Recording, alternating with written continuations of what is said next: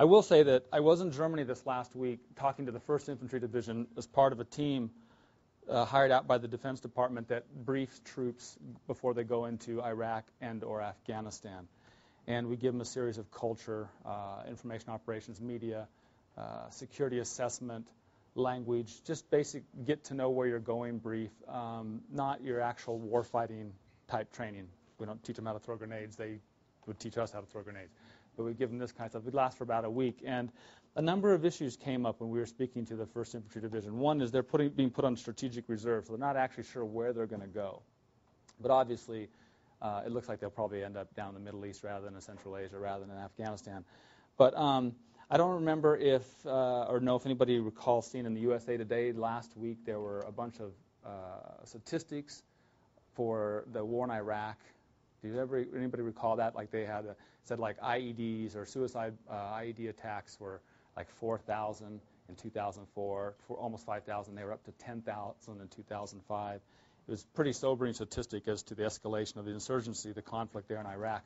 And what we've been trying to do is determine what's going on in Afghanistan because recently there's been a number of attacks. There was a high-profile uh, vehicle-borne IED that hit a Canadian diplomat and his team, I think, two weeks ago. And um, so there's been a number of these attacks. And so I went to Afghanistan for the month of November to get a look and see what was going on. And that's kind of where I'm going to see for myself what was happening. Um, I have to put these reading glasses on from now on, especially if I don't have my PowerPoint. This is really embarrassing, but that's just the way it is. Uh, when I arrived in Kabul, I, I first flew into Bagram. it's early November, and then we spent some time there. I met with some of the people, uh, some of the different commanders there, got their assessment of different things, and then we took a helicopter from Kabul to Bagram. The, as the helicopter was landing, if you've been to Kabul, Afghanistan, uh, the airport is in a position here, and you go to the U.S. Embassy, peel off this way, and then you go out that way, and it's Jalalabad Road. You pull off to the left, and it's down the Jalalabad Road. There were two vehicle-borne IED attacks on the Jalalabad Road that morning as we were flying in, both against German uh, peacekeepers, German uh, members of the ISAF troop contingent there. Basically, a car bumped. I mean, there's different press reports, but what they can sort out, car bumped them as they got out to, you know, take care of the wreck that's when the guy detonated the bomb, killed, I think, I know one German, and I think injured four or five. There was another one, a guy on a bicycle, ran his bicycle into a car, and uh, I think just really blew himself up, and I think a couple of civilians, I can't remember the details. So when we got to the airport, it was kind of tense because our little convoy was waiting to take us to the embassy compound. But It was tense because this was happening just down the road. So it was a, kind of an interesting start to a month dedicated to finding out if it's kind of heating up or what's really going on in Afghanistan. Um, we got in that day, went up into the defense attache's office, and everyone's scurrying around. And I said, "What's up?" And they said, four members of the NSA in their vehicle were just vehicle borne were just hit by an IED in Kandahar. We just heard it over, you know, over the waves. And I said, uh, you know, is everybody okay? It appears they're okay. It was a hardened SUV, Toyota 4Runner, but it's pretty armor-proof. It uh, ripped the vehicle up, but they walked out of it. I never saw that come up in the press. And at the time, they were spinning the story, so it would be an NGO because you're not going to report on your security agencies uh, injured, killed, and killed and wounded. Um, so that was a very busy day. That night, as I went, we bunked down in our Connex trailers. Uh, I just got to sleep, and a rocket hit about 100 yards away, and it, sound, it shook our shook our little Connex trailer and put and made the alarm the alarms went off at the embassy compound. And I thought, you know, this is a pretty busy day. Two IEDs on the Jalalabad Road, one in Kandahar, and a rocket attack on the embassy all in one day. And so my first impressions were it is, in fact, heating up. Um, but you have to look a little more than that. Um, I have some interesting graphs that I'm going to show you in a minute, I'm sure. Uh, but I think I'll have. I think I'm going to basically, you can see an escalation. I wanted to show you some of the, the, the, uh, the patterns of attacks, and more alarming perhaps is the notion or these uh, suicide attacks, which have really escalated in the last few months. And um, so it looks as if there are, is a peak. But one thing I've been very cautious to say is that, one, don't trust any numbers out of Afghanistan or Iraq. If people, it'll give you a good general idea, but just say, there are 10,423 attacks. Yeah, maybe there is, maybe there isn't. Generally, you're right, but don't ever. I mean, it's hard to report in war zones, and the more difficult it gets to report, the less accurate your numbers are going to be. In Kandahar, a film crew from uh, Ch- British Channel 4, I work with them a lot, so I was out visiting them this last trip as well. They had to pull their crew out of Kandahar after one day. It was just simply too dangerous to operate. So anything you get out of Kandahar is going to come from local Afghani media. Maybe an NGO caught it. Maybe the U.S. military is going to report it. But the U.S. military is not running around Kandahar. They have a huge base outside of Kandahar. The Canadians have a PRT, Provisional Reconstruction Team, right in Kandahar, and they're the ones that took the hit with the diplomat last, uh, last I think it's been two weeks now. And so the numbers, they give you a general picture, but they you shouldn't be treated as exact truth. Um, also, uh, the other thing I always see, and I read in the paper, is that when I was in Mosul and um, couple in spring of 2004, it was really quiet, and coalition commanders were saying, "This shows we're beating the insurgency." You have to let the you have to let the time you have to let the story play itself out. I mean, things aren't going to be decided in a month. If there's no activity in a month, it could mean a multitude of things. It could mean they're preparing for larger attacks. It could mean that the coalition is clamping down. It could be that it could be anything. It could be weather. So you have to look at a more longer view of it to see if the overall picture looks like it's, it's security is increasing or decreasing. And we can get the graphs up, we'll do that. Um, but the real question is, uh, why is it heating up? I mean, right now in the last three months, I would say absolutely it's heating up. If you look at the graphs, which hopefully will pull up, it is spiking. Suicide bombing, which was really not even an issue in Afghanistan, is uh, well, that's not my slide is definitely on the rise. Um, and this is what I gathered from what I mean from what I could tell. First off, there's increased pressure on the PAC border areas by U.S. troops. A lot of the forward operating bases have pushed even further up into the areas right on the border. And so, if that was a safe haven to Afghan or anti-coalition, I say anti-coalition forces because one, again, it goes along with this accounting. You know, there's Al Qaeda, Taliban, and there's probably others. I'm never comfortable saying he's Al Qaeda or he's a Taliban. I don't know what they are. They're certainly anti-coalition, and maybe they're one and the same, and maybe there's different groups. But for my the purpose of my lecture, I'm going to say anti-coalition forces. They don't want the U.S. there. They don't want the Brits there. The Canadians. They don't want anybody there. But so whoever they are, um, and of course they include Taliban and Al Qaeda, because we push the forward operating bases closer to the border areas, we're making direct contact frequently because ah here we go. Here we go. I'm going to back up and just show you a couple slides real quick. Thank you, guys. And that's my fault. I arrived too late to get it figured out. Okay, what is this? Okay. I'm sorry. I'm sorry. No, that's okay. Forward, backwards, and then that's your laser pointer. Oh, okay. There. And you have a mouse if you want one. Okay, so that's. All right. This is me. This is arriving at Bagram, getting ready to take our helicopter ride. Um, some of them are just images. That's the German ISAF vehicle the car bumped into on November 14th. Again, the car bumped into it to set the vehicle up, get it to slow down. I'll just mention that not too long ago there was a video on the new, in the news, and this is Iraq. And some of the I'm going to say, say, say things about Iraq because it's the same strategy or same tactics being used on both sides. But uh, the idea is when you're on places like the Jalalabad Road, you don't slow down, you don't stop, and and it kind of goes contrary to some of the uh, hearts and minds campaigns because if you stop, it's well known that you become more of a sitting target, right? So you always keep moving, which means you go into the other lane of traffic, go into oncoming traffic, you go on the medium, you drive on the sidewalk. And every time we went down the Jalalabad Road, we drove the exact same way. We never stopped. We used all four lanes, two this way, two that way, the medium down the middle, and the sidewalk. It's a lot of traffic jams. We don't want to get stuck on roads that have had repeated IEDs because chances are you'll, you know, it's hard for a guy on a remote trigger to hit you when you're going over 20, 30 miles an hour. He's got to be really good. But if you're going five miles an hour, it's not hard. And so that's the strategy. Um, anyway, U.S. and coalition combat deaths during Operation Iraq, uh, Enduring Freedom. You can see way back in, oh, you know, from the very beginning that we had some spikes here leveled out. And then recently, I guess I could use the pointer, huh? We've seen some some uh, some bigger spikes, but overall, it's, it's kind of held steady. There's been some definite lulls here, and we're going to talk about. I'm going to give you some suggestions as to why that might be. Um, Major attacks. Okay, this is just in the last six months, six or seven months, week by week, basically. It's, I mean, it peaks. You know, at times there are nothing, three week period, nothing. It doesn't mean there were no attacks in Afghanistan. It just means that they were not reported. If the, what if the IED guy missed? You know, they're not going to. I mean, again, that's why I say you can't use hard numbers, but this is you can derive some patterns and see if any. You can see if there is a pattern. Um, what you do see no, more noticeably is that you had one suicide attack in the early days of the conflict, and you had none until you had one kind of midway through, and then you've got all these suicide attacks here. Now, Al Qaeda has said that they've trained over 200 suicide bombers. They're implanted in the local population, and uh, they're just waiting to wreak havoc on U.S. coalition forces or, you know, or collaborative uh, Afghan forces. That it's hard to say. We'll, we'll see. We'll look at this graph six months from now and see if this is a, a, a tactic adopted uh, strongly uh, in more force.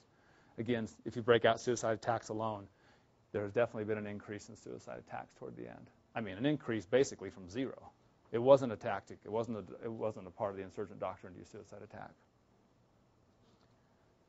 Which has led a lot of people to suspect, okay, is it Afghan? Are they outsiders, you know, coming in to fight? What was striking about the um, NSA vehicle attack, which didn't get reported, was that the word around the embassy was, amongst the defense attache's office, was that the mayor of Kandahar had admitted that it was an Afghan who initiated that attack, which they felt was more troubling, the fact that an Afghan actually carried out the attack. Again, what does it tell us? It's probably too early to say that, oh, all the Afghan been, Afghans have been, you know, there's been a strong segment militarized by, by Al Qaeda or, you know, Wahhabism or whatever, but it's hard to say. Um, but it does possibly point to something. Uh, and the casualty and death rate well, obviously a lot more wounded. Again, it's just another way of looking at the, the data. This one was fairly successful way back when. And I think this one here, that's the that's there's a bunch of them this month. So I won't spend too much. Oh, geez, I guess I have more casualties from non-suicide. Okay. And then, of course, then this is just overall attack patterns. And again, it's really kind of hard to see a pattern. You know, and so we'll talk about why that is. I mean, there are breaks and there, you know, there are strong periods for them. Uh, so why is it heating up? Um, well, pressure on the border areas by coalition forces. I've just talked about that a little bit. Uh, increased pressure from Pakistan. A friend of mine in joint planning said that they have really pushed the Pak government to work a little harder, and they have. And that, plus they believe the earthquake in that area and a stronger U.S. presence in Pakistan, if even humanitarian relief, has led to a kind of denial of sort of other you know areas of safe haven. So it's again probably or possibly pushed. They feel it's pushed the combatants right into the forward operating bases again, which would mean you're going to draw more contact. Um, seasonal. Um, if you go back to now, this wouldn't apply for suicide attacks, but I mean, if you go back to the fighting patterns in Afghanistan, and I don't have this graph put together yet, but and it's one thing I'm going to do next, um, I, you know, because I want to know for sure. But the percent, my percent, my belief is that when the winters come in, because already uh, the guys at the forward operating bases out in the Paktia province and Logar and those places, they're seeing less and less activity as the snows get higher and higher. It's just hard to move around. And if you take other combats, uh, conflicts like Chechnya, also in the wintertime, combat activity dies down. It's just pure logistics. You know, you got 10 feet of snow through the passes. It's just not that hard. It's not that easy to set up an ambush. It's not that easy to drive around and be ambushed. So U.S. patrols go down, uh, enemy activity slows down. Um, the shift to soft targets. 200 trained suicide bombers, maybe, maybe not. What they have definitely felt, or uh, you know, what the numbers, again, there's, well, you could build graphs forever, but the numbers also seem to indicate that there is a shift toward hitting hard targets, U.S. and coalition combat forces. Then you have your ISAF, which is still, I consider, a hard target, but not anywhere near battle ready as the coalition combat forces out on the forward operating bases. And then you have you know have the Afghan National Army, and then just civilians.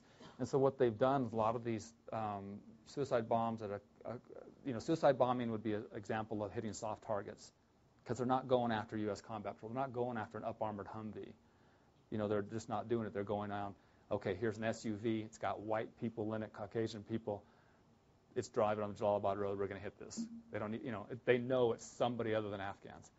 That was switching to soft targets because, you know, if you get hit, you're not going to respond. There's not like this battle-ready group that's going to respond.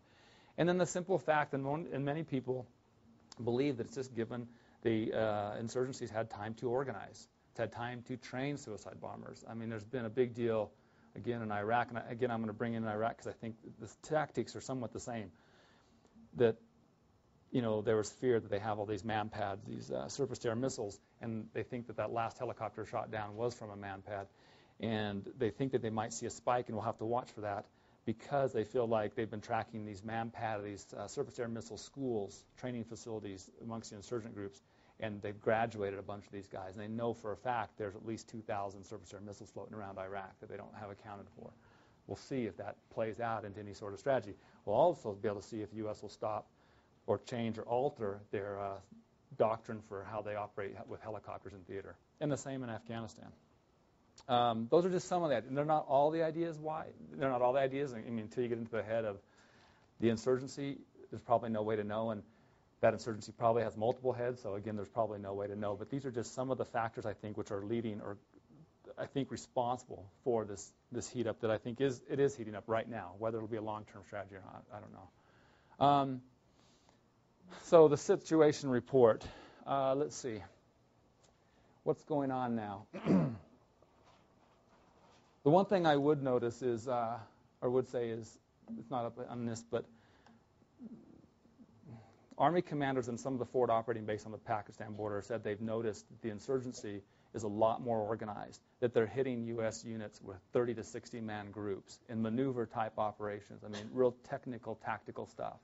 And they believe firmly that they're being trained in Pakistan by guys that know their business, maybe Pakistan intelligence, maybe Pakistan military, maybe previously trained by the U.S., who knows. But these are actual combat operations on the platoon or two platoon size insurgent groups all along the border. That's the idea of how the insurgency is operating in, in, those areas. And the U.S. forces there, like the, the 82nd Airborne, they're, they're continually making contact. We don't hear a lot about it. There's no reporters out there. They do file, and sometimes when people get killed or this, you know, it, will come out. But these things are going on a lot up in that area. Um, so that situation has changed. In the midst of all that, the U.S. plans to reduce its troop strength in Afghanistan this year but the Brits and the Canadians are going to pick it up. The Canadian, I, I, talked to three Canadian soldiers this last week. They're so excited about the new Canadian government because they feel like the last one decimated the military. The up or downside of that is they're going back to Afghanistan. I think there's 1,800 slotted to go back. The light infantry, British, British light infantry is getting ready to go, and a few other units. They will take over a good share of what some of the U.S. PRTs. You got to think of Afghanistan as a system of provisional reconstruction teams all around the country and then these combat ops all around that Pakistan border. Two completely different things. Then you've got your sort of ground zero at Bagram, where the uh, force provider, the two-star generals there. And uh, Kabul, the military in Kabul, there's some training. There's bases everywhere. A lot of them are training the ANA. Um, UK, I don't know if you're following this in the press. It's being it's it's become a political argument. Uh, they don't know if they. I mean, I'm not saying they don't know if they want to go, but it's you know there's a lot of people in the UK that don't want the troops to go. Some of the people in the troop uh, in the army and the defense ministry are saying that they're not prepared to go for the kind of mission they anticipate. Again, we'll see where they end up, and um, then constantly in the mix of, and then basically it's a shift toward a U.S.-led coalition to a NATO. They want to turn Afghanistan over to NATO. General Jones, the EUCOM commanders, made multiple trips out there. As you know, uh, Afghanistan is under the Central Command area of operations. The Central Command obviously has a lot of work. It's the Middle East and Central Asia, but they want Afghanistan to be as much of a NATO push as they can. And the EUCOM commander for the U.S. wears two hats. He's the NATO commander and the European command uh, commander. So it's all the initiative. It's, it's definitely a U.S. initiative as well to get NATO allies involved in Afghanistan.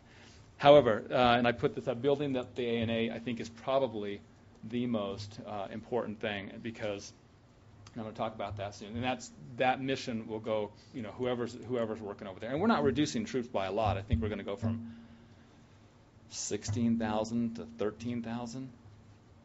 You know, so I mean, we're not reducing a lot. There's not a lot of troops there compared to Iraq, but it's it's enough. I don't know if it's enough, but there's a lot.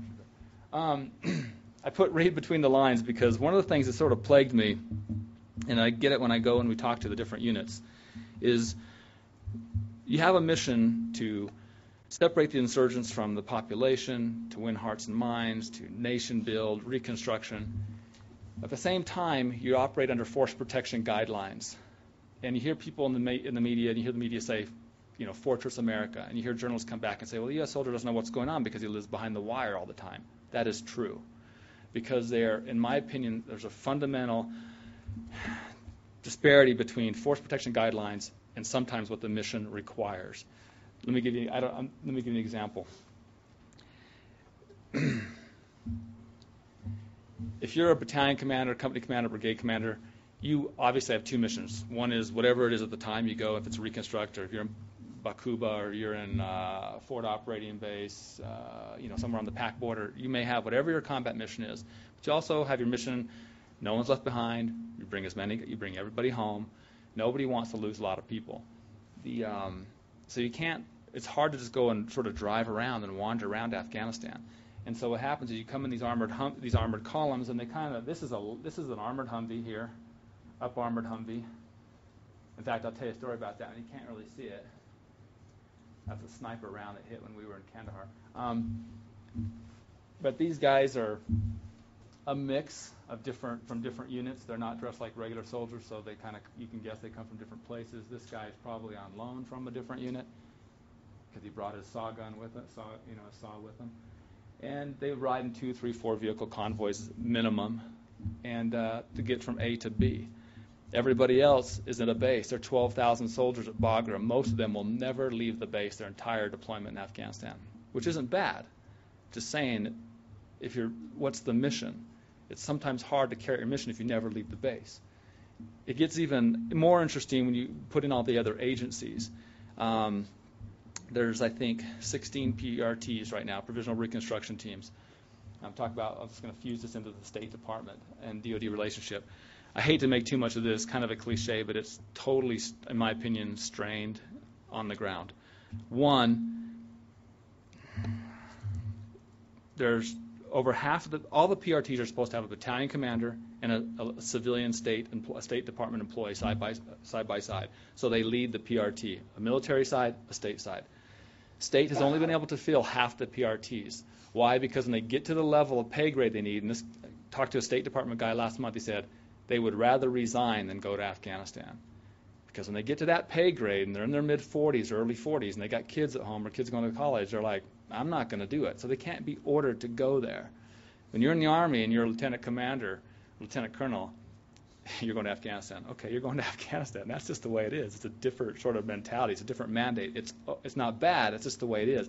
They can't fill. So there is no State Department representative. There is no civilian personnel in these PRTs, which means all the reconstruction work and all the combat work and all the security work is done by U.S. forces. The U.S. forces, I think, are great, but they're designed to kill stuff, blow stuff up. I mean, that is their primary mission. We give them three or four days of lecture as to how to prepare mentally and how to see the people, and then they go to three months to learn how to throw grenades and fire weapons downrange. Chances are no one will fire will throw a grenade in the whole deployment, but they still do that because that's what war fighters do. It's just one of those. It's just one of those things. And like I say, I can't make a judgment call whether it's good or bad because it's a force protection guideline.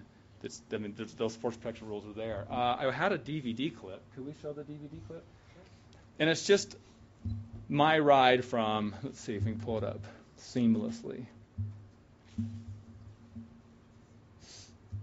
We should get a screen that allows us to. Uh,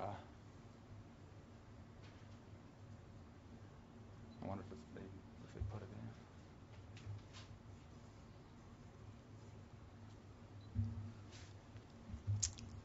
Is that DVD to do? I wonder if it got put in there. If there's any question or comments while we're sorting this out, you can. It's playing, but it's not playing here? Okay.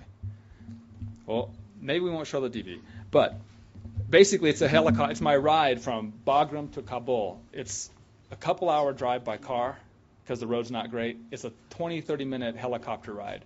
And I put it in there. We cut it down to about seven minutes. And in a way, it's beautiful because of the barren landscape, but in a way, it's kind of tedious because I wanted to show that that's the view that everybody, that's the view that U.S. soldiers are getting on the ground there. Either in a heli- helicopter. My next video was a, was a slide was a was a video of us going from Kandahar to Kabul. It's a 10 hour, 8 to 10 hour drive. It used to be a two day drive, but they're putting the ring road together, and they've really done a good job there. Um, but it's dangerous. Everybody's in an armored con- convoy, and that's the drive. And if you stop, you make really good security provisions when you stop. You fan out, you do 360 around the vehicles or whatever. You make sure that you protect your perimeter. Um, I just will say a note about that armored Humvee. When we got to Kandahar, we went to Kandahar, and this is honestly only to see Kandahar because I wanted to, we wanted to see what was going on. So we took an SUV and a, and a Humvee, and we're going to go pick up another armored Humvee that somebody had a spare, and they were going to.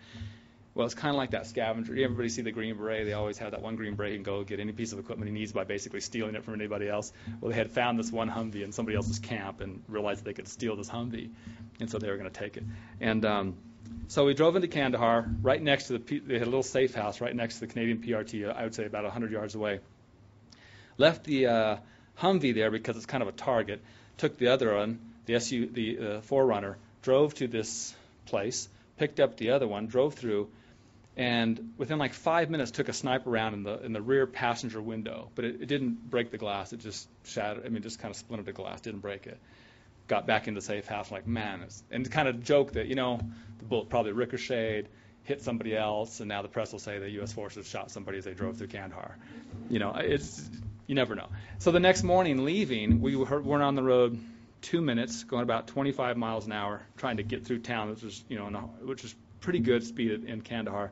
Took a sniper round right in the front driver window, like basically dead center. At, at about 25 miles an hour, everybody was really impressed because that was it was a good shot. I mean, but we were only on the road five minutes or ten minutes each day in that in that vehicle. And again, like I said, the Channel 4 crew that just returned from Afghanistan were trying to shoot this documentary. They couldn't shoot in Kandahar. Just couldn't do it. It's just getting it's, it's pretty bad. We'll go back to the slides because I'm not sure.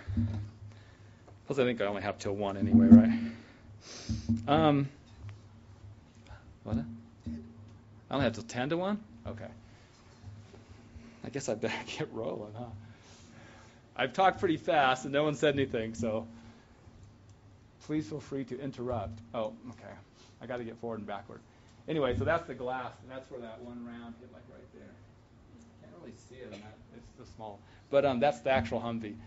And you know, when we drove through Kandahar, we uh, took the gun out, buttoned down the hatch, because one thing they'll love to do is lob grenade inside the hatch while you're just going like five miles an hour through civilian traffic. So you don't want to just have the grenade get lobbed in. It's happened a number of times in Iraq, blowing everybody from the inside. And they've tried it in Afghanistan too. So we were totally latched down. There was no attempt at even or thought of getting out and fighting. Again, it was just like you get from point A to point B as quick and as safe as possible because everything in between is considered, well, you know, it's bad. It's bad. And, uh, you know, obviously everybody had personal weapons, but you know, you really wouldn't want to be able to try to use them. I mean, you wouldn't want to jump out the street in Kandahar. So it goes back to, I think I'll start to sum up. The overall strategy is it does appear that it's heating up. But the one thing, and this, and because of this force protection guidelines, the fact that it's hard, you can't just. There are foot patrols. Don't get me wrong, and there are helicopter air assault in these combat areas. And the ISAF patrols will sometimes do foot patrols around Kabul in certain areas, but they're small patrols, limited. They don't have a big presence, a, big footprint. So, what's the overall strategy? And you hear it over and over again by the Joint Chiefs and the, you know Rumsfeld is they we want to try to build the national army, up, the Afghan national army. These people have to have their own security elements in place. But um, it's interesting. A good friend of mine is a trainer, and he's training. Well, and I talked to lots of uh, trainers, embed trainers, U.S. like retired lieutenant colonels, and basically he's got a team up in the north, and they're working with three special forces ODAs, three special forces uh, um, tactical teams, his team, and a bunch of reservists from Florida, and they put together this train operation. They're training um, these Afghan militias, and one. The hardest thing is they've got to break the Soviet model. And what I want to basically talk about is you inherited in Afghanistan, you became a warlord or a military leader, I should say, because you were basically a warlord or Soviet trained, but more likely you were a warlord because the Mujahideen in the end won, right? So you regained like Dostum and Mohaqiq and Ostad Atta and Ismail Khan. You regained or you gained uh, power over your area, charisma, you know, sheer numbers, luck, um, unholy alliances with everybody just to get, you know, whatever it took. Were, were they good, disciplined military generals? I mean, the idea of a general. I would say none of the warlords in Afghanistan I've met. I mean, I've heard good things about Ismail Khan. I've never met him. I wouldn't say that they're generals like in the modern sense. They don't know how to run an organized armed force. They don't, you know. And so the biggest problem is, you know, if you look at the way the armies are, it's, it's your NCO, your non-commissioned officers and soldiers that do most of the fighting. They're going to have to do most of this work. The officers should be planning, executing. The Soviet model doesn't raise the importance or the level of the non-commissioned officers to a point where they can actually be any good at anything. And so one of the things they're trying to do is they're running all the sergeants. Some of them have come to Master Sergeant School in El Paso, Texas. Others have gone different places to Fort. Some of the officers have gone to Fort Leavenworth. But the problem is, Afghan officers they have no real respect for the NCO Corps. What they're trying to do is teach the NCOs to be effective. Like when you're in the, you know, when I was in Operation Iraqi Freedom, you have a lieutenant who's your platoon commander, and then you have a first sergeant, where the first sergeant was your equivalent to the lieutenant from the enlisted ranks, and he had more day-to-day work with the soldiers. He had like a, an enlisted and an officer rank guy right along the top of the leadership of that platoon. And there's lots of reasons for that. Now, here's what's really been kind of interesting is that the NCO, because they're younger, they're more malleable, they've gotten good really fast.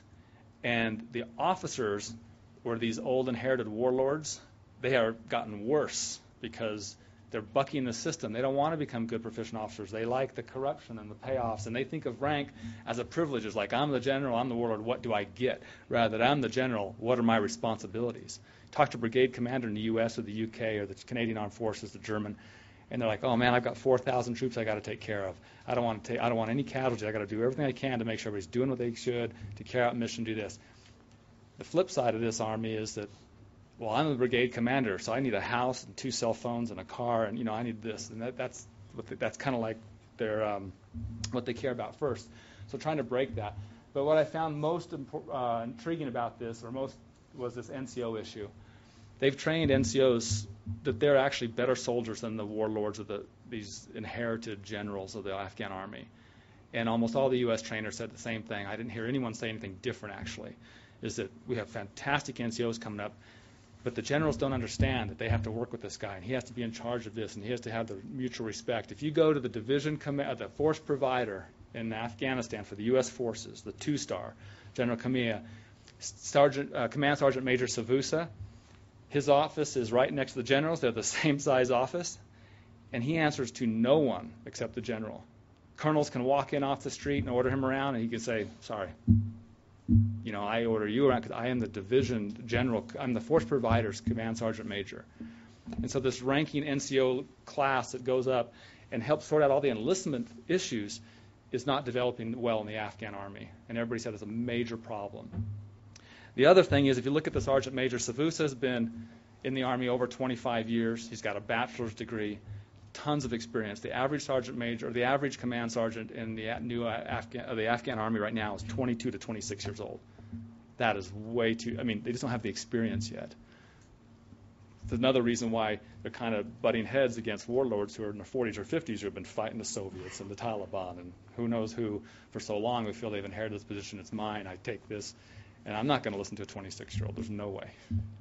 So that's a major problem.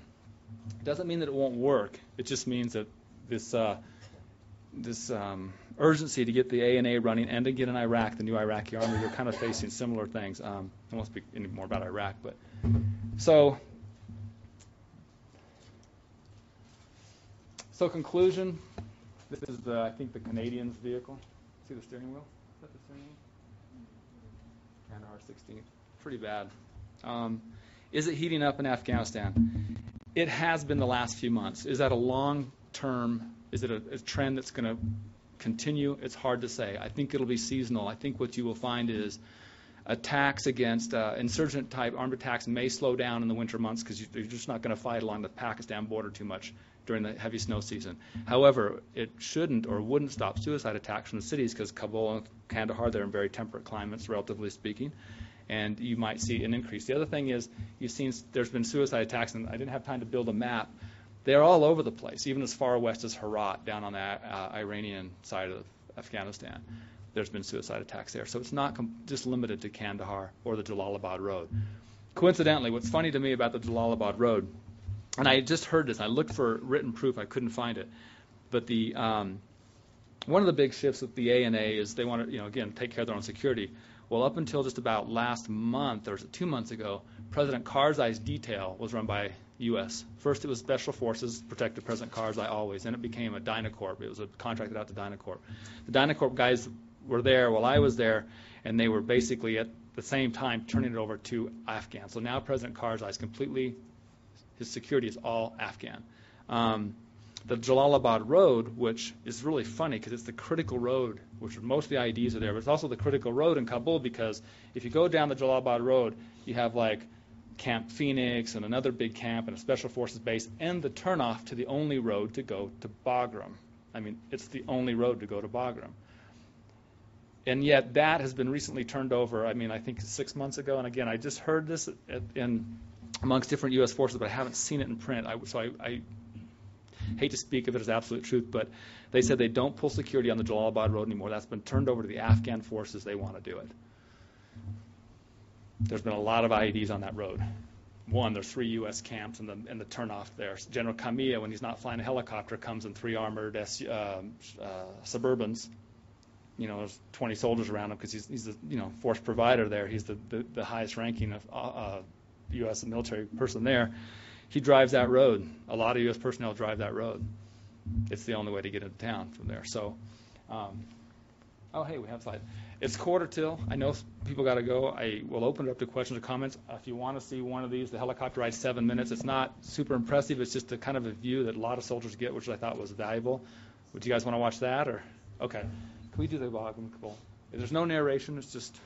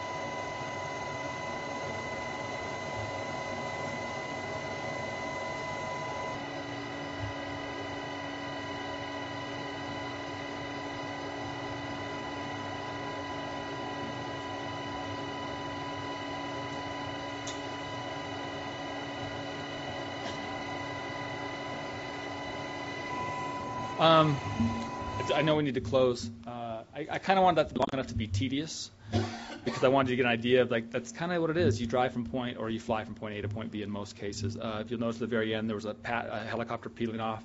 That was the Apache escort. So even then, we had two Blackhawks and Apache escort, Apache gunship, 20 minute ride. You know, I mean, it's again force protection. Um, I know we need to go again. I, my overall assessment is it heating up. It is right now. Will it be a long-term trend? I don't know. You might see a heat up and more hitting of softer targets like suicide bombs, those kind of things, vehicle-borne IEDs, IEDs, and you might see a, maybe it actually go down in some of the combat areas. Um, and that's kind of my assessment, which is a great non-answer, right? I didn't answer the question, so. I know you got to go. If there's any questions, be happy or comments, and uh, thank you very much for attending today.